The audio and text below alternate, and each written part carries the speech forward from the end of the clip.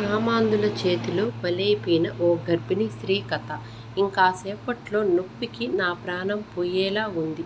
చెప్పలేని బాధ. శరీరం రక్తంతో తడిసి ముద్దయింది. కానీ నాకు బ్రతకాలని ఉంది. నాకు ఈ శిక్ష వేసిన దేవుడిని నేను చేసిన తప్పేమిటో అడగాలని ఉంది. కానీ నాకు ఇది చివరి క్షణమేమో అని అనిపిస్తుంది. ఈ క్షణకాలం పాటు కళ్ళ ముందు ఒక్కసారి నా జీవితం మొత్తం మళ్ళీ కదలాడింది. అమ్మా నాన్నకు నేను ఒక్కటే కూతుర్ని. పెళ్ళయిన ఫైవ్ ఇయర్స్ తర్వాత పుట్టడంతో చాలా అల్లారుముద్దుగా పెంచారు. నాన్న చిన్నప్పుడే వాళ్ళ అమ్మను కోల్పోయాడు. నాన్నమ్మనే మళ్ళీ కూతురిగా పుట్టిన పుట్టిందని మురిసిపోయేవాడు. నేను కింద అడుగు పెడితే కాళ్ళు కందిపోతాయేమో అని భయపడి గుండెలపై మోస్తూ పెంచాడు. అంత ఇష్టం నాన్నకు నేనంటే. అమ్మా నాన్న చూపించే ప్రేమను ఎప్పుడూ అడ్వాంటేజ్గా తీసుకునేదాన్ని కాదు. చదువులో ఎల్లప్పుడూ ముందుండేదాన్ని. ఇంటర్ జిల్లా స్థాయిలో మొదటి ర్యాంకు వచ్చింది. అప్పుడు నాన్న చేసిన హంగామా అంతా ఇంతా కాదు. అడిగిన వాళ్ళను, అడగని వాళ్ళను అందరినీ పిలిచి పెద్ద పార్టీ ఇచ్చాడు. తర్వాత నాకు ఇష్టమని మెడిసిన్ జాయిన్ అయ్యాను. అప్పుడే నాకు కృష్ణ పరిచయం అయ్యాడు ముందు మంచి స్నేహితుడు. పెద్దలంటే గౌరవం, బాధ్యత తెలిసిన అబ్బాయి. మంచివాడు. ఎలాంటి అలవాట్లు లేవు. ముఖ్యంగా తను కూడా నాన్న లాగానే నన్ను బాగా చూసుకునేవాడు. ఇవన్నీ చూసి నాకు తెలియకుండానే తనని ప్రేమించాను. తనకి కూడా ఇష్టమని తన మాటల ద్వారా అర్థమవుతుంది. కానీ ఎప్పుడూ భయపడలేదు. మా కాలేజీ చివరి రోజున ధైర్యం చేసి నేనంటే ఇష్టమని అంగీకారమైతే పెళ్ళి చేసుకుంటానని అడిగాడు. చాలా సంతోషం వేసింది. చూడు కృష్ణ నువ్వంటే నాకు కూడా ఇష్టమే. కానీ ముందు మనిద్దరం డాక్టర్ అవ్వాలి. తర్వాత జీవితంలో స్థిరపడాలి. మన లక్ష్యానికి మన ప్రేమ అడ్డు అవ్వకూడదు. మన గమ్యానికి చేరుకున్న తర్వాత మా నాన్నను అడగండి. వాళ్ళకి ఇష్టమైతే నాకు సమ్మతమే అని చెప్పాను. ఆ తర్వాత ఇద్దరం కష్టపడి చదివాం. నేను ఇష్టమని చెప్పినా కూడా కృష్ణ ఎప్పుడూ హద్దు మీరలేదు. ఇద్దరికీ మంచి హాస్పిటల్లో డాక్టర్లుగా ఉద్యోగం వచ్చింది. చాలా సంతోషం వేసింది. తర్వాత రోజు ఇంటికి వచ్చి నాన్నతో మాట్లాడాడు. ఆ రోజు రాత్రి నాన్న పిలిచి ఇలా చెప్పాడు. బంగారం! కృష్ణ గురించి వివ వివరించాను. చాలా మంచి అబ్బాయి. కానీ చేసుకునేది నువ్వు. నీకు సరే అంటే మీ పెళ్ళి చేయడానికి నాకు ఎటువంటి ఇబ్బంది లేదు అని అన్నాడు. సిగ్గుపడుతున్న అంగీకారం చెప్పటం, నాన్న సంబంధం ఖాయం చేయటం, పెళ్ళి నెలలోనే జరిగిపోవటం అన్నీ చకచకా కలలా జరిగిపోయాయి. ఇలా సాఫీగా సాగుతున్న జీవితంలో ఒక సంఘటనతో మా మా జీవితాలు అతలాకుతలం అయిపోయాయి. నాకు కృష్ణకు పెళ్ళయి వన్ ఇయర్ అయిపోయింది. ఈరోజు హాస్పిటల్లో ఉండగా సడన్గా వామిటింగ్ వామిటింగ్ అయిపోయింది.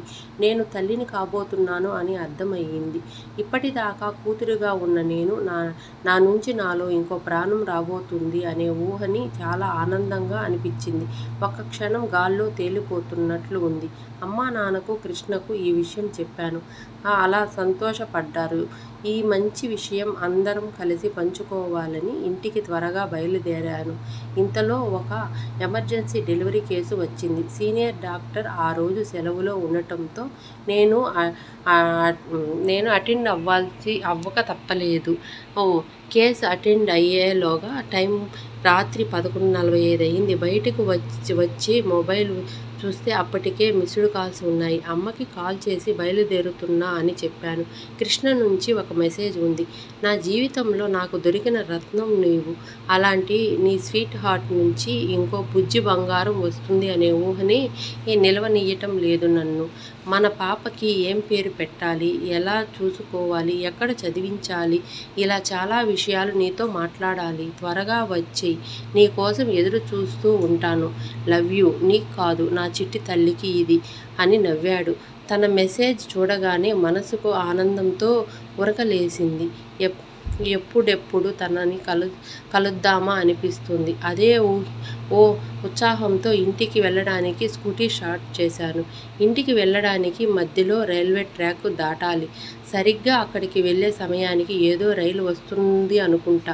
గేటు వేసేశారు. చుట్టూ చీకటి. ఎవరూ లేరు. టైం ఏమో పన్నెండు అవుతుంది చాలా భయంగా ఉంది. ఇంతలో నా పక్కన ఒక ఆటో వచ్చి ఆగింది. అందులో నలుగురు ఉన్నారనుకుంటా. వా వాలకం చూస్తుంటే తాగినట్లు అనిపిస్తుంది రోజు పేపర్ చదివి చదివి గుర్తు భయం వేస్తుంది. కానీ నాకు నేను ధైర్యం చెప్పుకున్నాను. వాళ్ళ కళ్ళ నిండా కామం నింపుకొని నన్ను అదోలా చూస్తున్నారు. అందులో ఇద్దరు కిందికి దిగారు. ఎందుకైనా మంచిది. హండ్రెడ్కి కాల్ చేద్దామని అనిపించి మొబైల్ బయటకు తీశాను. అప్పుడే అం అందులో ఒకడు నా వెనుక నుంచి వచ్చి నా నోటి మీద చెయ్యి వేసి ఇంకొకడేమో నా కాళ్ళు గట్టిగా పట్టుకున్నారు. అరవాలని తప్పించుకు తప్పించుకోవాలని చాలా ప్రయత్నించాను కానీ బలం సరిపోవటం లేదు. నన్ను ఆటోలోకి బలవంతంగా ఎక్కించి స్టార్ట్ చేశారు. వాళ్ళ నుంచి బయటపడాలని సాయి శక్తిలా కొట్టుకులాడాను కానీ నన్ను కదలకుండా గట్టిగా పట్టుకున్నారు. అలా ఒక నిర్మానుషమైన ప్రాంతానికి తీసుకువచ్చారు. ఇద్దరు నన్ను కదలకుండా పట్టుకొని ఇంకొకడు నా బట్టలు తీయటం మొదలుపెట్టాడు. నా నిస్సహాయత స్థితి చూసి నా మీద నాకే జాలి కలిగింది. అన్నా దయచేసి వదిలేయండి. ఇక్కడ జరిగింది కూడా ఎవ్వరికీ చెప్పను. కావాలంటే నా అకౌంట్లో రెండు లక్షలు ఉన్నాయి. అవి కూడా ఇస్తాను. నన్ను వదిలేయండి. అన్న అని వేడుకున్నాను. అన్నా నేను కడుపుతో ఉన్నాను. నా బిడ్డను చూసి అయినా నన్ను వదిలేయండి. మీ కాళ్ళు మొక్కుతాను. ప్లీజ్ అన్నా అని కాళ్ళు పట్టుకున్నాను. కానీ వాళ్ళు మనుషులైతే కదా మారడానికి. ఆకలి మాత్రమే తెలిసిన మృగాలు గట్టిగా అరిచి వాళ్ళతో పెనుగులాడి నోటి నోటితో కొరికి ఎలాగైనా తప్పించుకోవాలని ప్రయత్నించాను. కానీ బలంగా ఇనప రాడ్డుతో తల మీద కొట్టారు. తల నుంచి రక్తం కారటం మొదలైంది. వాళ్ళు వాళ్ళని ఎదిరించే శక్తి కూడా సన్నగిల్లుతోంది. ఒకటి తర్వాత ఒకడు తర్వాత ఒకడు రాబందుల్లా నా మీద పడి ఈ ప ఆ పశువాంచ తీర్చుకుంటున్నారు. అందులో ఒకడు నా వయసులో సగం ఉంటాడేమో. వాడు కూడా నా మీదకు వచ్చాడు. తమ్ముడు నీ అక్క లాంటి దాన్నిరా. తప్పురా వదిలేయండి.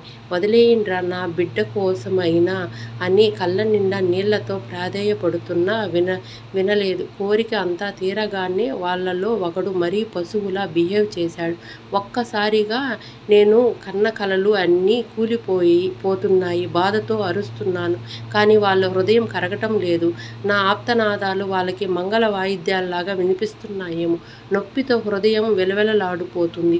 శరీరమే కాదు మనసు కూడా ముక్కలైపోతుంది. కానీ జాలి లేని జంతువులు కదా వీళ్ళు ఇలాంటి మృగాల బారిన ఇంకా భూమి మీదకు కూడా రాని ఒక పసి ప్రాణం కూడా వాడిపోయింది. తను నన్ను ఎందుకు కాపాడుకోలేదు అని అడిగితే నేను ఏం సమాధానం చెప్పాలి? తన ప్రాణం గాలిలో కలిసిపోతు పోయింది అని అర్థమైంది. ఆ ముఖం మీద చిరునవ్వు వచ్చింది. ఆ పశువులకి ఎందుకు నవ్వుతున్నానో అర్థం అర్థం కాలేదు.